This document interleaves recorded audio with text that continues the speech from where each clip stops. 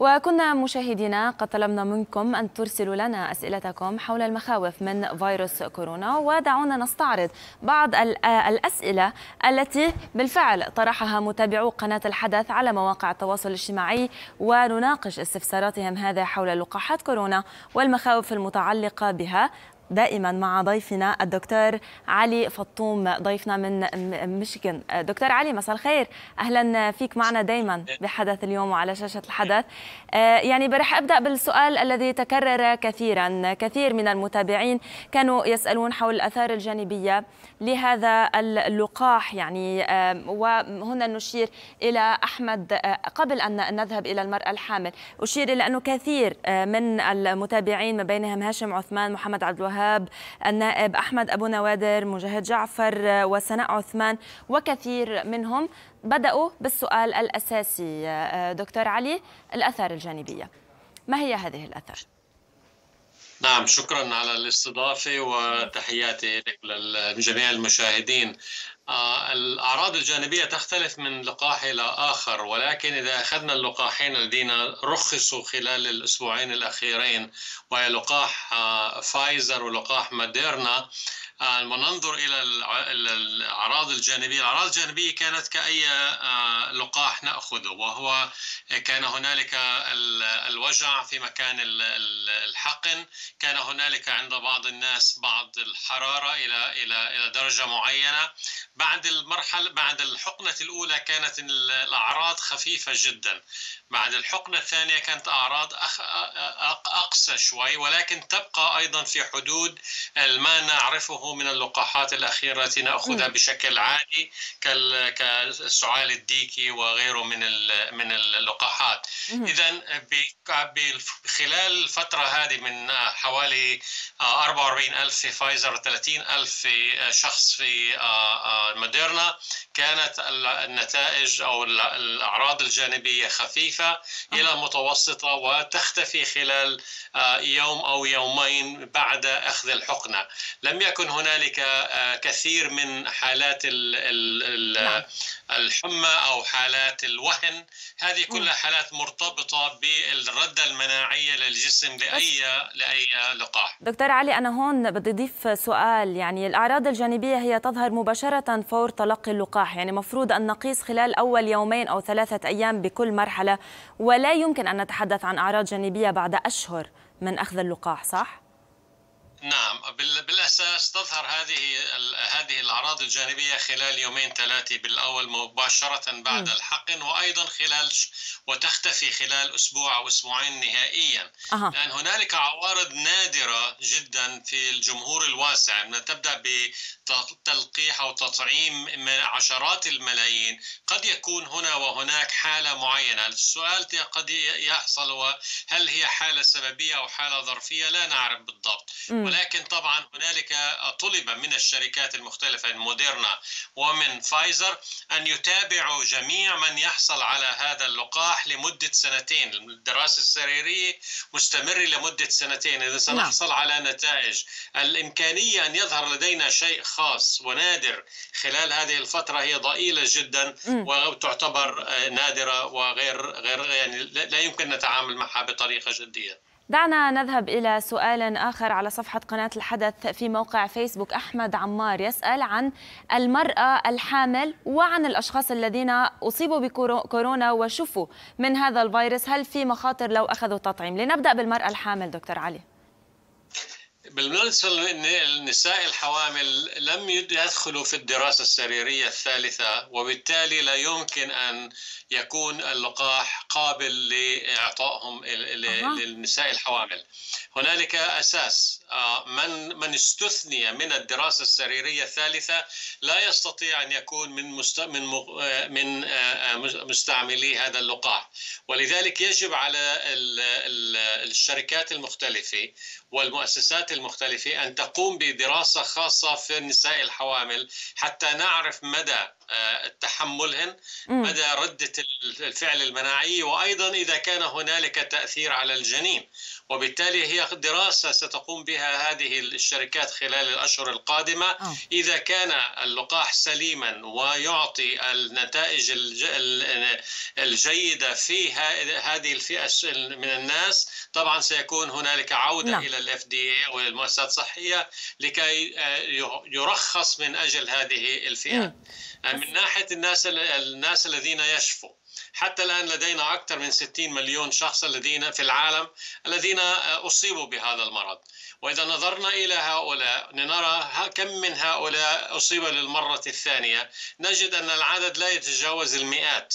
وبالتالي اذا الشخص الذي تعافى من المرض أصيب بالمرض وتعافى هنالك إمكانية جيدة جدا أن يكون قد تعافى وهذا الشخص أيضا لا يحمل الفيروس في داخل أنفه يعني م. أفضل نوع من أفضل نوع من المناعة هي تلك المناعة التي نأخذها بعد أن يحصل لدينا عملية المرض اذا العودة إلى العودة إلى أو إصابة المرض مرة ثانية ضئيلة جدا أو معدومه وبالتالي آه، بالنسبة إذا فرضنا شخص لم تكن لديه مناعة وذهب وأخذ اللقاح الجسم جسمنا لديه الإمكانية أن يراقب ما يحصل في داخله وبالتالي إذا كانت لدينا مناعة قائمة وأتى أتى إلينا لقاح معين أو تطعيم معين هذه المناعة تقضي على هذا التطعيم ولا تعتبره آه. كأنه لم يكن اذا لا يوجد هنالك هنالك سقوف معينه في داخل الجهاز المناعي التي تمنع مثل هذه الحوادث أو تمنع أي نوع من آه، المناعه آه، عدم المراقبة. بس كم شهر مفروض آه، يكون لدى المتعافي مناعة؟ يعني هذا سؤال بهمني أنا شخصيا لأنه أنا أصبت وتعافيت أيضا. سلامتك. الله يسلمك آه بالنسبة بالنسبة لحد الآن لا نعرف. آه. ما نعرفه لو كان نحن بدأت الجائحة بشهر أربعة لو كانت ال ال نفرض إنه ثلاث أشهر أو أربع أشهر أو خمسة أشهر كنا لازم نشوف نعم. حالات جديدة في هذه الفئة المجموعة المجموعة المعينة. كان لازم صرنا نشوف أكثر وأكثر في شهر 8 9 10 لم يحصل ذلك. بمعنى أن هذه المناعة التي اكتسبت نتيجة للإصابة في حال تكونت مناعة جيدة نعم. قد تكون لفترة طويلة. هل ستكون لأكثر من سنة؟ لا نعرف. يعني لدينا بعض بعض الأمور بالنسبة لهذا لهذا المرض وهذه الإصابة نعم. كثير من الاشياء لا نعلمها وبالتالي نحن نتعلم مع الوقت. نستطيع أن نستنتج بما يحصل. صحيح. لننتقل أيضا إلى سؤال آخر. صلاح الدين أبو عيد على صفحة الحدث السوداني على فيسبوك سأل في حال سوء تخزين اللقاح ما هي الآثار المترتبة بحال تناوله؟ نعم إذا إذا كان السوء في في هذا معناها غير غير صالح للاستعمال. هلأ بالنسبة ل بالنسبة للمركبات المختلفة المركبات المختلفة قد يجوز أن مثلا messenger RNA اللي هو من موديرنا ومن فايزر قد قد قد يتحلل بمعنى يتكسر أه. إذا تكسر لن يكون لديه الإمكانية لكي يعطينا مناعة بالتالي نصبح كأننا حقنا أنفسنا في لا دواء أو لا, لا يعني بس لا يؤذي أيضا لقاح. ليس هنالك أذية إلا في حالة أن آه، عدم التخزين أدى إلى نوع من ال آه، شو بسموه الكونتامينيشن نوع من ال تلوث تلوث دخلت أو أو شيء لذلك هذا النوع نعم. من هذا ممكن يكون مضر مم. ولكن حتى الآن نتحدث طيب. عن بالنسبة للتخزين بالنسبة للتخزين هو قائم مم. لا يوجد أي مشكلة إلا في هذه الحالة وهي حالة ضئيلة جدا إمكانيتها أه. نسبة ضئيلة جدا لنذهب إلى صفحة الحدث التونسي حيث يسأل المشو ما هي نسبة الرصاص في هذا اللقاح؟ في رصاص باللقاح دكتور؟ لا الرصاص اللي أو والأرجنتوم اللي كان بالأول بالنسبة ل كان يعطى أو يوضع في داخل اللقاحات كنوع من المحافظة على هذا على هذا اللقاح. زي مثلا بحطوا بالأغذية بحطوا نوع من البريزرفاتيفز هذا كان موجود زمان. فعندما خلال أعتقد من سنوات التسعين الاف دي قررت إنه لا يجب أن يكون اللقاح sterile آه، آه، يعني نعم. آه، نقي 100% وبالتالي لا لا يمكن لا لا يوجد استعمال لهذه المواد. لهذا النوع من من ال preservatives وأيضا تخلصنا من من من الأنبوبة أو اللي فيها 10 أو 15 حقنة. لحتى لا نعود نفتح وندخل مرة أخرى في الإبرة إلى داخل اللقاح وهنالك فقط لقاح لواحد أو اثنين فقط وليس أكثر. وبالتالي طيب. إمكانية إنه يكون في عندنا نوع من ال contamination ضئيله جدا. آه نذهب أيضا إلى سؤال آخر. على فيسبوك طرحت عزة الموريتانية السؤال هل صحيح أن اللقاح الجديد فايزر تحديدا يسبب السمنة وزيادة الوزن للمريض مع شفائه من كورونا؟ دكتور علي please قول لا. لا يعني في يعني في أشياء اللي طبعا ممكن تحصل. يعني ممكن واحد يطيب من الكورونا ويزيد له كم من كيلو. بس بصورة عامة لا علاقة نعم. بين الاثنين. ممكن إنه الشهية تزداد لأنه في خلال الإصابة كانت الشهية معدومة نعم. وعدم الحس بالطعم انعدم.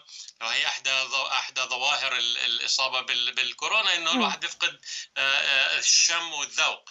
وبالتالي ممكن أن يحصل ذلك ولكن لا علاقة لا للكورونا طيب. ولا للقاح في ذلك. نذهب إلى السودان. رضوان عاطف من هناك طرح عددا من الأسئلة. نبدأ بسلبيات وإيجابيات اللقاح.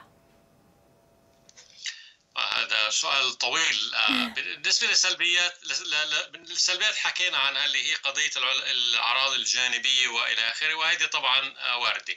بالنسبة لاهميه آه، اللقاح أهمية اللقاح أنها تمنع المرض بمعنى أنها هي للوقاية يعني نحن نعطي اللقاحات أو التطعيمات نعطيها للإنسان الصحيح بحيث أنه في حال تعرض لحالة مرضية أو لمسبب نعم. المرض فهو لن يمرض إذا الأهمية الأساسية بالنسبة للقاح هي المنع والوقاية من الإصابة نعم. ولذلك هذا هو الأهم بالنسبة لنا وبالتالي لا نمرض لا نأخذ الأمراض ولا نعدي أو نعدى بالنسبة للإصابات في الأمراض المختلفة. طيب هو طرح عدة أسئلة بعتقد كثير منها تم الإجابة عنها ولكن بموضوع إذا ما كان هناك تأثير لأصحاب الأمراض المزمنة والوراثية وهنا أيضا نسأل عن من لديهم أمراض أو حساسية معينة. هل اللقاح يؤثر على هؤلاء؟ نعم كان كان هنالك بعض الناس مع مع حساسيات مع حساسيه مختلفة لل... ولذلك لما نظرنا إلى إلى السلامة وأيضا إلى النجاعة بالنسبة لهؤلاء الفرقتين آه، كانت نسبة نسبة الناس اللي عندهم حساسية في في في اللقاح كانت 5% 6% نعم. 6 في الألف.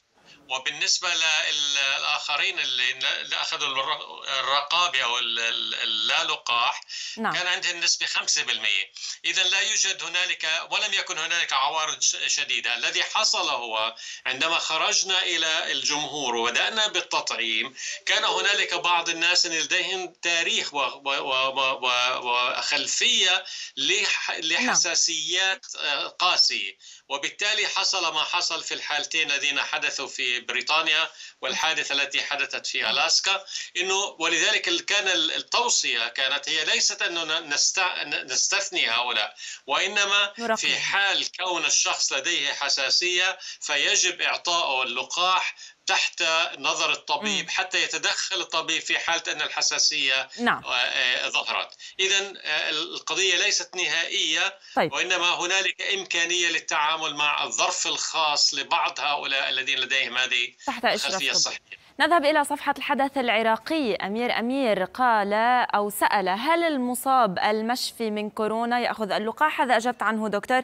نذهب كذلك إلى سؤال على تويتر. المغرد أبو محمد الخرف ما صحة ما يدور حول عدم ضمان شركات التصنيع ما ينتج عن التطعيم من أضرار؟ آه يعني هل هذا مضمون مش مضمون؟ آه هل تتحمل هي المسؤولية هذه الشركات أصلاً؟ نعم هذا سؤال حساس جدا يعني آه اللي هو طلب طلبت هذه الشركات من الحكومات المختلفة أن تعفيها من أي نوع من الضرر إذا ما حصل هذا الضرر نعم إذا آه هذا الشيء موجود وهذا قضية هي قضية بالأساس قضية نعم. آه، آه، أخلاقية واقتصادية بالنسبة للشركات لأنه إذا كل الشركات هذه لها آه، مصالح معينة وبالتالي لا تستطيع أن تخاطر اذا أنت الحكومات نعم. أخذت هذه وأعفت الشركات في لموديرنا وفايزر على ما اعتقد هم التنتين إنه لا يمكن إنه لا يستطيع أحد أن يقاضي هؤلاء نتيجة لحالة مرضية معينة طيب. اللي ممكن تكون اثبات هذه القضايا إنها مرتبطة سببيا باللقاح نعم. هذه قضية كمان مهمة وقضية وجدلية جدا وصعب طيب نعم. بس دكتور علي بنعم أو لا هل في أمونيوم باللقاح؟ سؤال كذلك المغرد الأمونيوم آه، نوع من أنواع المركبات الكيماوية موجودة في كثير آه. محلات ولكن حتى بالنسبة لموديرنا وفايزر نعم. حتى السوائل الموجودة فيها لا يوجد فيها آه، أمونيا بشكل خاص يعني نعم. ولكن الأمونيا هي ممكن نعملها سائل نعطيه للأمراض نعطيه آه يعني موجود كعلاج لقاحات وأدوية مختلفة طيب. ما لها علاقة الأمونيا لحتى نلحق أيضا سؤال أخير من السودان آه، يسأل هل الإنسان المصاب بأكزيما وربو غير مسموح له أن يأخذ هذا اللقاح؟ باختصار بدقيق. لا. نعم. لا لا لا لا يوجد أي سبب أنه ما يأخذ هذا اللقاح لأنه اللقاح كان فيه ناس مع أمراض مزمنة. وبالتالي إذا بنرجع وطبعا هون العودة إلى الطبيب المداوي شيء شيء مهم أن يقرر الطبيب وإن يعرف هذا الطبيب ما حصل في الدراسات وأن يستشير. ولكن بصورة عامة كثير من الناس الذين كانوا في هذه الدراسة لديهم هذه الأمراض ومن بينها الربو ومن بينها السكري ومن بينها ضغط الدم وأمراض أمراض أمراض قلبية وغيره. اذا المجموعة السكانية 30 40 ألف وال 30 ألف بهدول الدراستين نحن بنعرف تفاصيل التفاصيل عنهم. نعم. لم يكن هنالك مشكلة بالنسبة لنوعية الخلفية المرضية للناس اللي شاركوا وكانت نسبة النجاعة والسلامة متشابهة مع الناس السليمين والشباب أو الفئة العمرية الشابة. طيب أيضا يبدو أنه فينا ناخذ سؤال كذلك. ننتقل إليه الآن. اذا صلاح الدين دهمش يسأل ما تأثير لقاح فيروس كورونا على حمض ال DNA هذا هذا سؤال سؤال مهم. بدأنا ندخل بالتفاصيل التفاصيل الآن. نعم آه، بالنسبة لل messenger ال messenger ريك من من من اسمه إنه هو رسول رسول يحمل معلومة يذهب بها إلى السيتوبلازم خارج النواة الخلية. ال DNA موجود في داخل الخلية ولذلك نعطيه إحنا لل messenger لا يذهب إلى إلى إلى إلى النواة ويبقى في خارج النواة نسميها. نعم. وهناك الرسالة توصل. عندما وصلت الرسالة وترجمت هذه الرسالة الرسول يقتل أو يقتل يقضى عليه ويحلل وبالتالي ينتهي من من الوجود. اذا لا علاقة ولا ارتباط ما بين ال messenger R الذي نعطيه كلقاح وبين ال DNA وهؤلاء مجموع أو جزيئين مختلفين جدا. نعم. ولا علاقة بين الاثنين بداخل الخلية وذلك إمكانية أن أن يؤثر ال messenger على النواة وعلى ال DNA هو صفر 100% آه، إلى آه، الحدث التونسي صفحة الحدث التونسي لدينا. آه، شيرين تسأل هل هذا اللقاح يستخدم مرة واحدة على جرعتين أم يستخدم مرة كل عام مثل لقاح الإنفلونزا؟ هذا كمان سؤال كثير منيح. آه، لحتى الآن نحن بنعطي الجرعتين الأوائل وهنالك دراسات مستمرة لنعرف مدى الانحدار في كمية المناعة خلال الأشهر الأشهر الستة الأولى والسنة الأولى والسنة الثانية. وطبعا سنرى النجاعة. إذا المناعة انخفضت ستظهر النجاعة أيضا ستنخفض. وبالتالي في مرحلة معينة ممكن أن نعرف هل نريد أن نعطي محفز أو أو حقنة محفزة بعد ستة أشهر أو بعد سنة؟ النقطة الأخرى أنه هل هذا الفيروس سيكون موسميا كالإنفلونزا أم أنه سيكون معنا خلال السنة؟ وبالتالي هنا بناء على هذه المعطيات التي أو النتائج التي سنحصل عليها سيكون هنالك قرار كيف يمكن أن نتعامل مع الحقن المحفزة وإمتى ومتى وأين وإلى آخره ستكون هذه نعم. القضايا ستحل مستقبلا. دكتور علي أنا بدي أشكرك جزيل الشكر على الإجابة على كل هذه الأسئلة التي نقلها لنا متابعونا. الدكتور علي فطوم الأستاذ في جامعة ميشيغان والباحث في علوم الأمصال البكتيرية والفيروسية.